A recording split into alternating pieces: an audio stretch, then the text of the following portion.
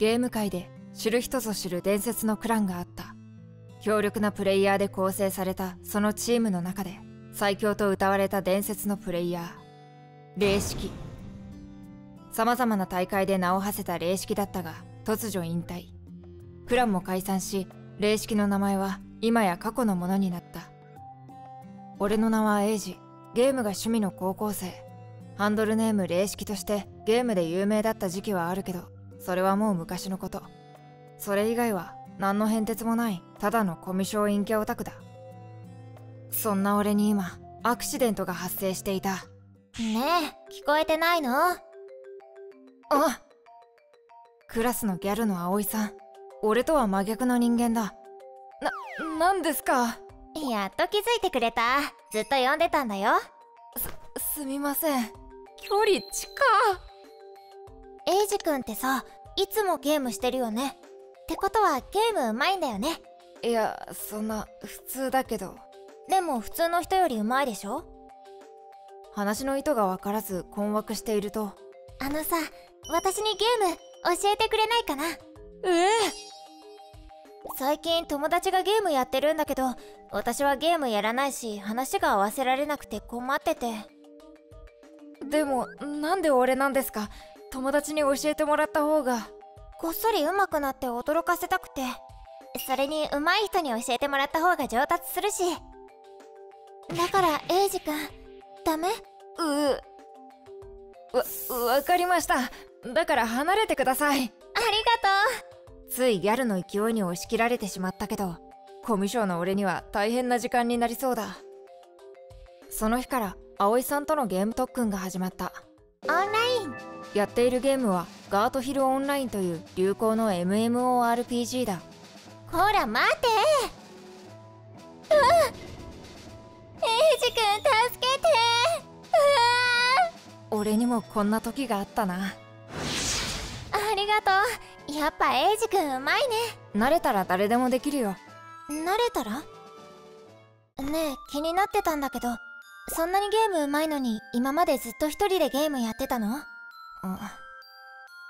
昔はいろんな人とやってたんだけど周りからの期待が大きくなっちゃって楽しむよりも結果を出すことが目的になっちゃったんだ。それで誰かと一緒にやるのが億劫になって。そっか。じゃあ私と一緒にゲームするのはどう？楽しい？まあ面白いかな。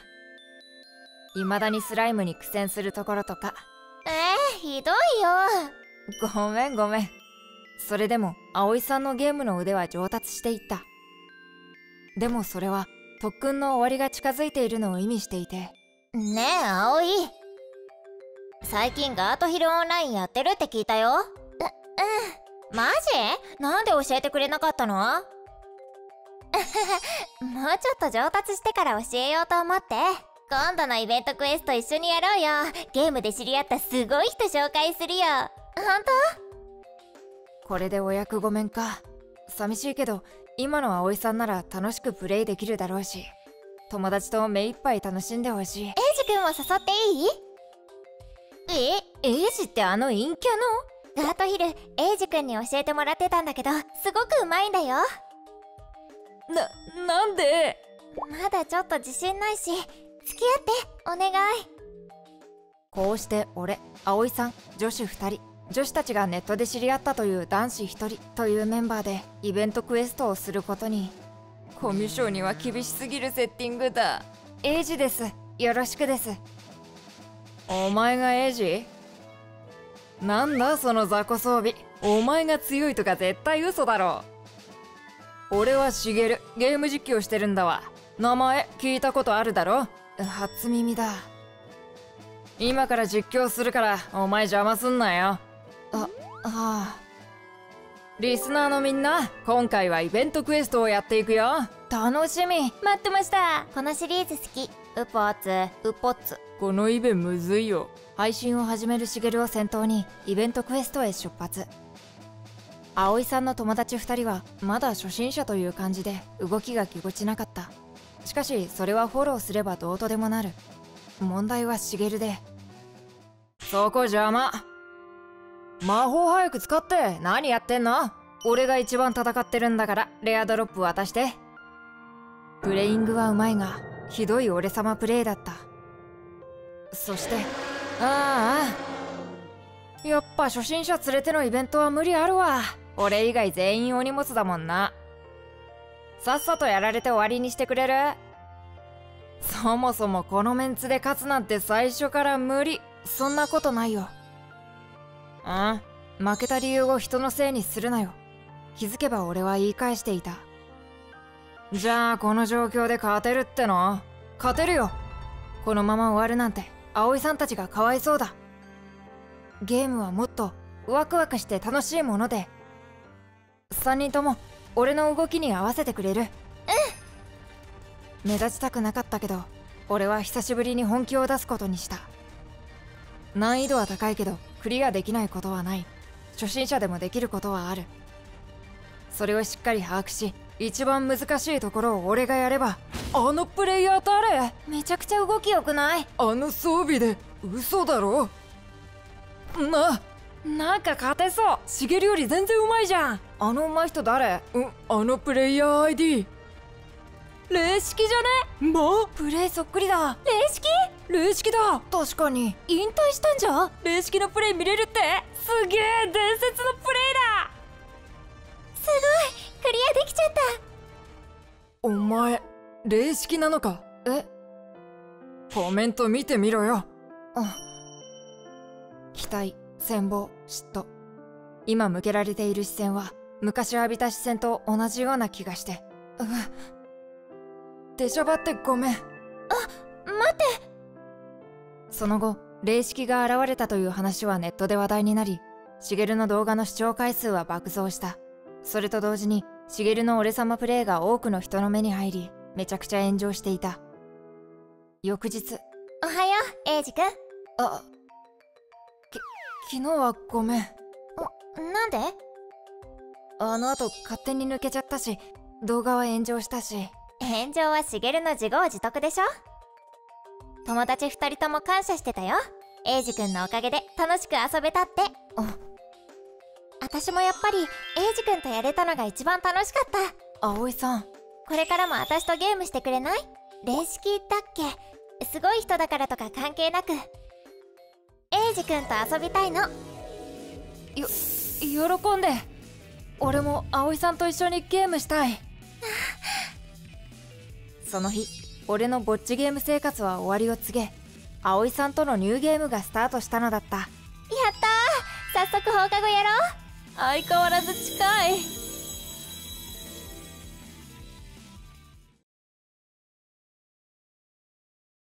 俺の名前はエイジ勉強だけが取り柄の陰キャぼっちだ。あのガリ弁また勉強してるぞ。昼休みだってのにどんだけだよ。触れてやるなよ。ぼっちだからああやってるんだって。でもさもうすぐテストじゃん？しげる勉強は？そりゃ今回も一夜漬けっしょ。どうせみんなもそうだろ。それより放課後どっか遊びに行こうぜ。くそバカにしやがって。特にしげる。あいつに何度バカにされたことかはっきり言って俺はああいう連中を見下している。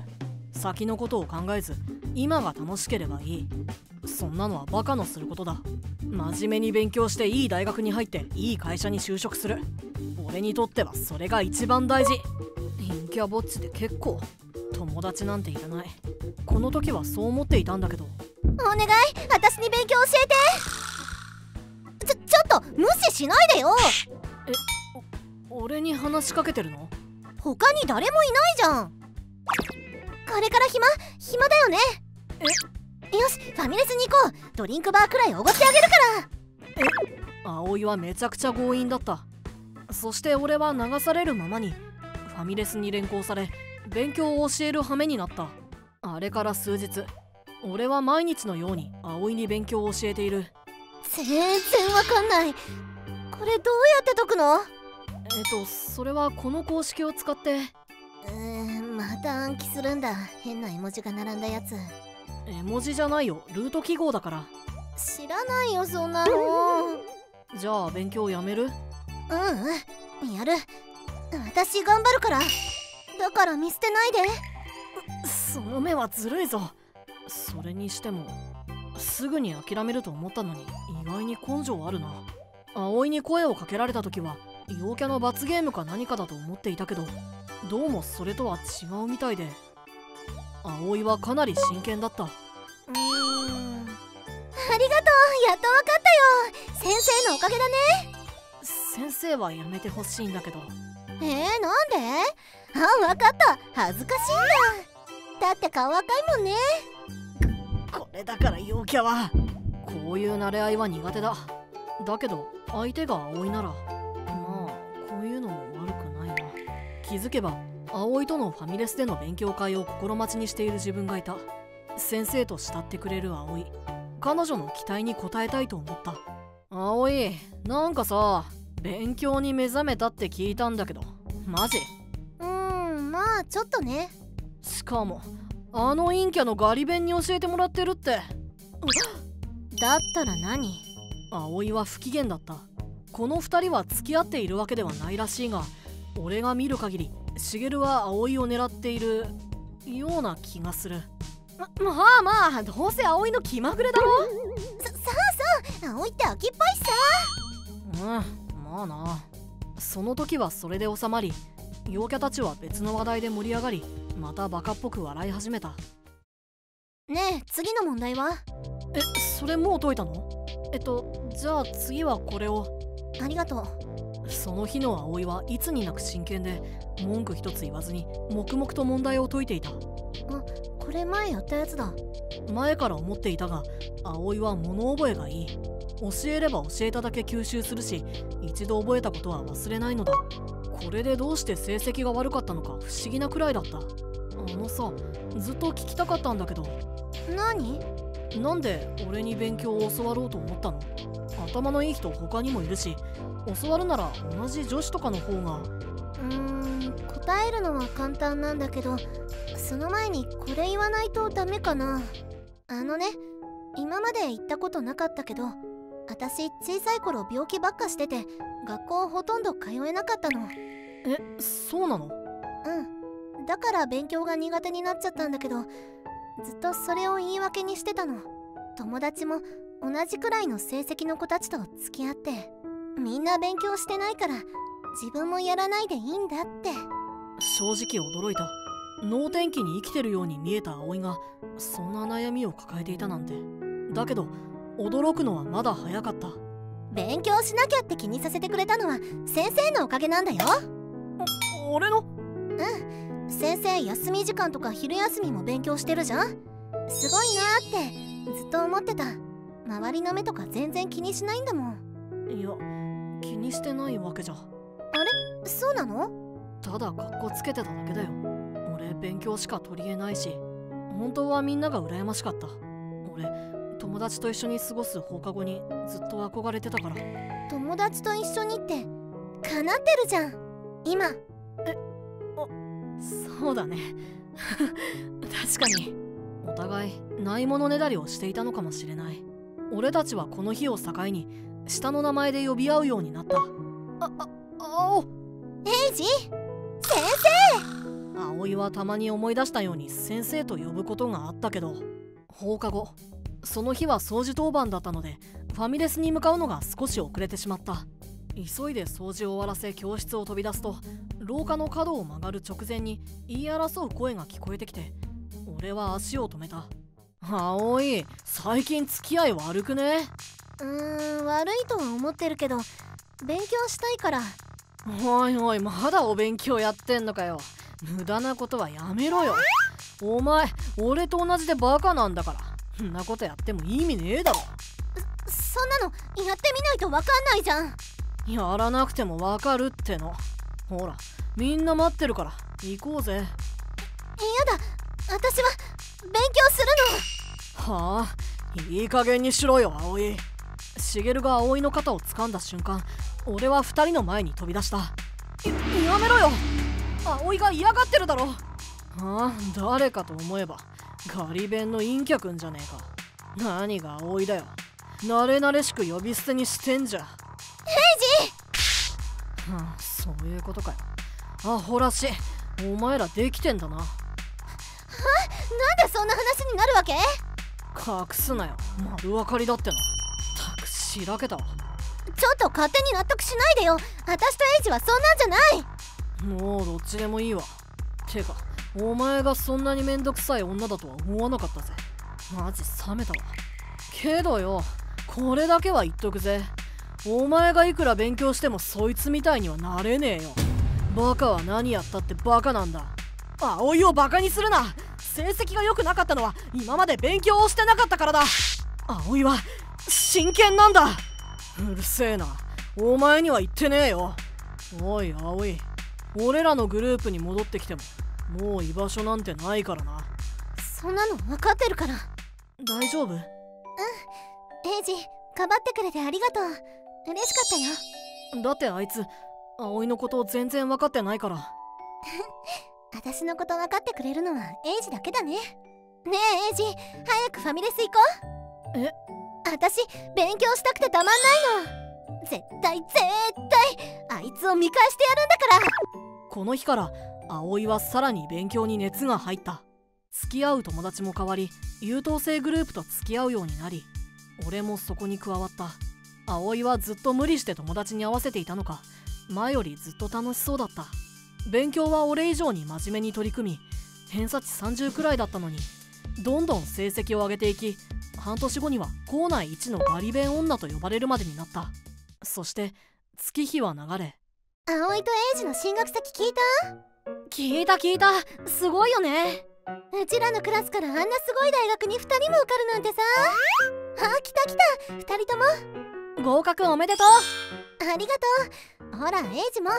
えっとありがとう。なんだか照れくさいな。最初は同じ大学を受けるつもりはなかった。だけど葵が3年の秋頃からめきめきと学力をつけてきて滑り込みって感じだったけどなんとか一緒の大学に受かることができた。そういやしげるたちのグループ受験散々だったらしいな。全員浪人だってね。って言っちゃかわいそうだねいいんじゃね？あいつら頭悪いのにでかい態度でうざかったし。葵のこともバカにしてたよね。どうせ受験失敗するって。しげるに煽られて勉強に本腰を入れるようになった葵だけど今はもうそんなことはどうでもいいみたいだ。それはきっと勉強を始めてすぐに成果が現れて葵自身が勉強好きに生まれ変わったことが大きいと思う。大学楽しみだな。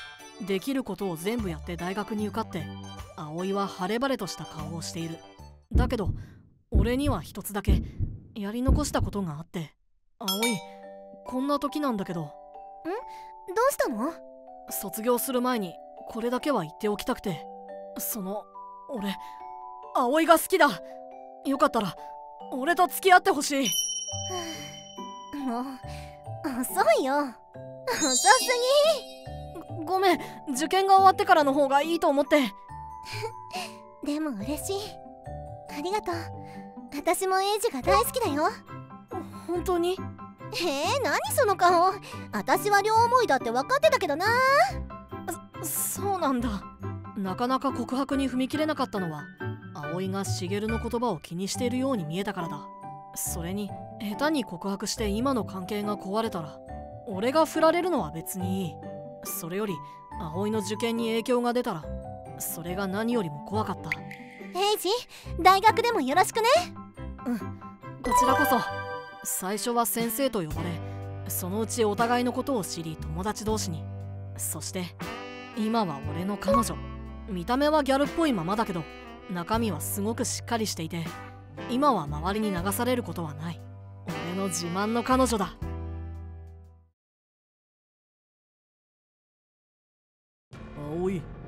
葵いよいよお前も高校生なわけだが一つ頼みたいことがある。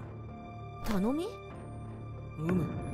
実はお前が通う高校にあの薬師寺組の一人息子も入学することになっているという情報があってな。ボコボコにしとけって話？お前の発想血の気が多すぎんか。そんなことは言わんよ。もうずっと警察の締め付けが厳しくて放送だって楽じゃないんだうん。それはもうじゃうちの組は今では法に触れるような行為は割に合わないからと一切手を引いている。もうヤクザの看板も下ろしていいんじゃないかとさえ思う。とはいえ島で無礼をやられたんじゃ示しがつかん。薬師寺側が何か仕掛けてきたの？そういう話がちらほらある。そこでまあ可能なら探りを入れてみてくれんか。という話だ。それはいいけど向こうだって私が近寄っていったら警戒するんじゃないの？ああ無理にとは言わんさ。そんなわけで私の高校生活は最初から波乱の幕開けになった。あれが例の男子生徒薬師寺明。ヤクザの息子というからにはもっと暴力的で野蛮な人間かと想像していたけど実際にはまるで真逆な印象だった入試での成績も上から数えた方が早いレベルらしい。少し話したいことがあるんだが。はあ？お互いの家の関係を知った上での話？もちろん。こっちは仲良くする気とかないんだけど。こっちだって用がなければ話しかけたりしない。それでも探りを入れるにはいい機会かな。教室の外で話そう。お互い学校では実家の事情を知られたくはないだろうそうね。分かった。で話って。喧嘩なら買うけど？それとも最近うちの島でオタクの人たちが暴れてることについて弁明でも聞かせてくれるわけ？はあ？それはこっちのセリフなんだが？バカ言わないで。もう何年もうちの組は警察の厄介になるようなことはやってないんだけど。もうほとんど普通の警備会社だし特にクレーマー対策や窃盗対策にうちの若いのを店員として派遣するレンタル怖い人サービスが好評で素人の皆様とも良好な関係を築いてるんだから。特にレンタル怖い人は別れ話やストーカー対策にって若い女性にも人気なのよ。むしろそっちの人がこっちにちょっかい出してきてるんじゃない？まさか。うちだってもう違法なことなんかやっていないさ。法律が厳しくなった今もう違法な物の売買なんか割に合わなくてね。実はカモフラージュのために売っていた健康食品の売り上げが好調だったからそっちをメイン業務に切り替えたのさ。健康食品？だいいせっかく掴んだ顧客を廃人にしてしまうような商売はダメだ。しかも警察にパクられても金づるがダメになる。しかしだ健康食品で健康になってもらえばどうだ？健康に気を使い出すのが30代後半から40以降と考えても8090まで生きれば何十年と絞り取れる良客になるわけじゃないか。だからうちの組ではどうやって顧客を健康にするかの研究に余念がないのさ。専属の研究者を育てるため構成員の指定に独自の奨学金を出す制度もある。そうなんだ。しかも顧客たちはうちの商品の効果を実感するとな。頼んでもいないのに親族や友達に勝手におすすめしてくれるのさ もう笑いが止まらないね。親族友人もまとめて一気に健康にしてやれば自動的に販路が開拓されていく無限機構が広がっていくってわけだ。ああ悪どい顔で言ってるのに何一つ悪事が含まれていない。なんなら君も試してみるか。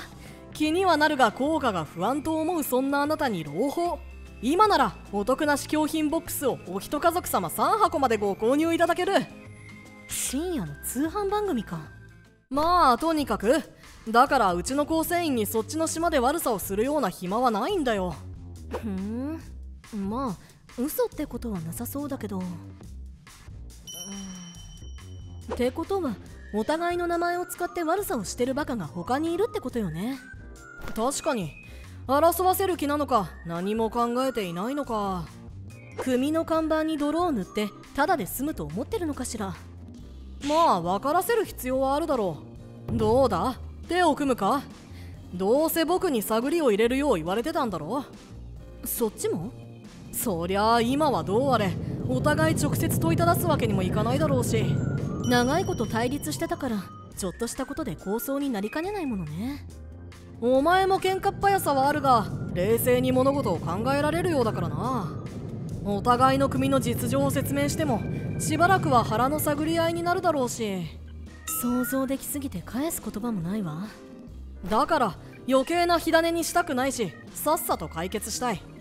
報告するにしてもまずは僕たちで下調べをしてある程度の証拠を揃えてからにしたい。お互いの組の平和のためってことね。そういうこと。そんなわけで長年ライバル関係にあって過去には何度も衝突した組の息子と私は協力関係を結ぶことになった。お父さんはともかく古くからの従業員が聞いたらそっとするかもしれないな。でどうするの？闇雲に探しても仕方ないしな。そっちの情報も加味すると互いの縄張りの境界付近で一日おきに薬師寺組と先森組の名前を語って構想を起こしているようだ。どれどれ？うわっ！いきなりなんだ？顔が近い。えー、何？このくらいで照れちゃうの？かわいい。ぷぷぷ話に夢中でついやっちゃったけど私ったらあんなに顔を近づけるなんて。超照れてることばバレてないよね。ととにかく今日もこの辺で犯人が行動を起こす可能性が高い。まずはそれを見つけられれば行くぞ。ちょっと悪ぶってるところはあるけど頭の回転は早いんだよね。血の気の多さはいかにもゴリゴリの武闘派先森組の娘って感じだ。男を相手に臆さない度胸が印象的だが一方で僕の話を聞いてちゃんと判断できる冷静さも持ち合わせている。あら葵ちゃんじゃない。そちらのイケメン君は彼氏？初々しくて2人とも可愛いわね。あ？彼氏とか全然違うんですけどあらそうなの？そもそもこれがイケメンとか鼻で笑っちゃうんですけど。ああおい待て。事実の表明はともかく僕をディスる必要はないだろう。うるさいわね。はいはい。そういうことにしておくわね。それよりレンタルさせてもらったマサさん本当に助かったわ。マサさんに何回か店員をやってもらったおかげで店の前でたむろしてた悪ガキどもが寄りつかなくなったのよ。あはい。毎度ありがとうございます。本人に伝えておきます。顔は怖いけどマサさんいい人よね。お願いしたら力仕事も快くやってくれたしまたお願いしたいわ。おや薬師寺さんのところの坊ちゃん学校帰りかい？あはい。お散歩ですか？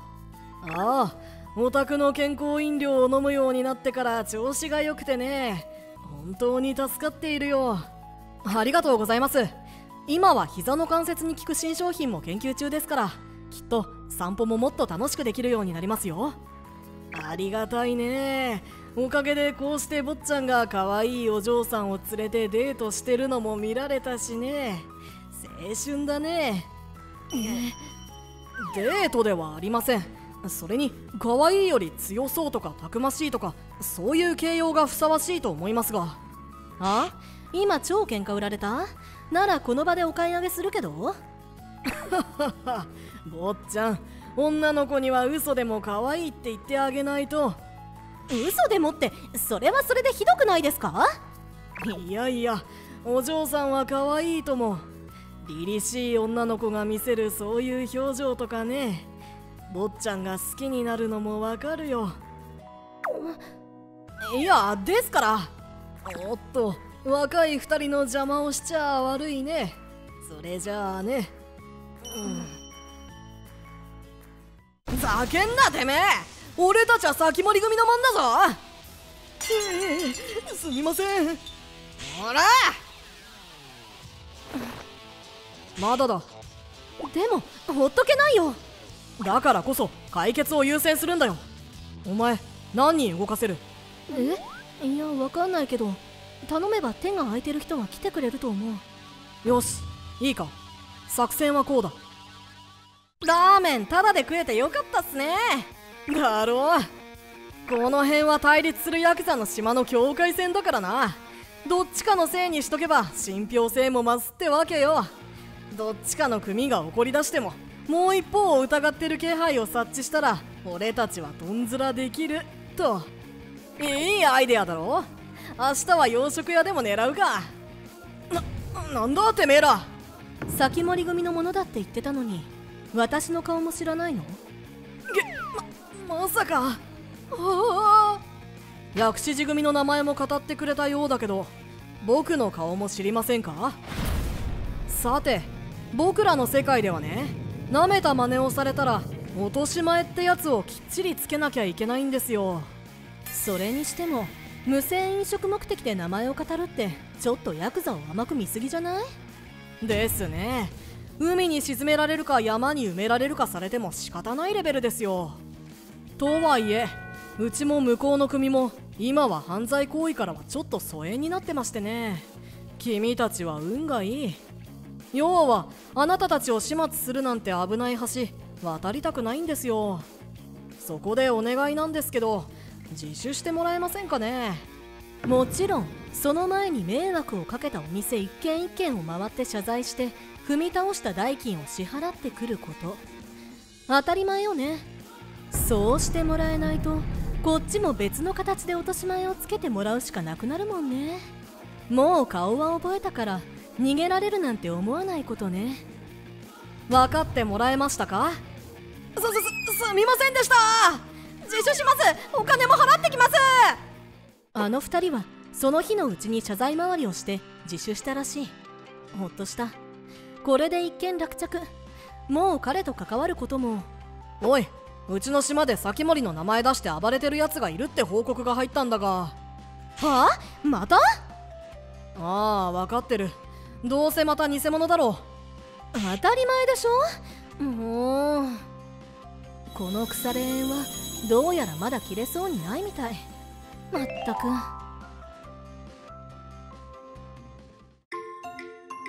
漫画エンジェル猫岡姉妹チャンネルもよろしくな